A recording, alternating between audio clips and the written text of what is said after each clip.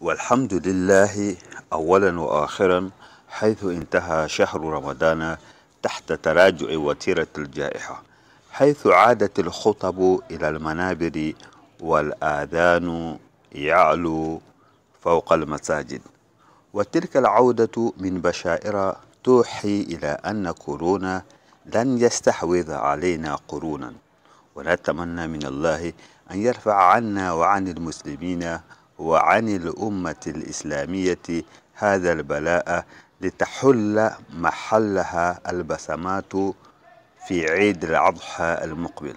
ومرة أخرى كل عام وكل أعضاء الجروب بصحة وعافية وتوفيق وإلى الأمام. سيدي محمود دراوغو من بوركينا فاسو.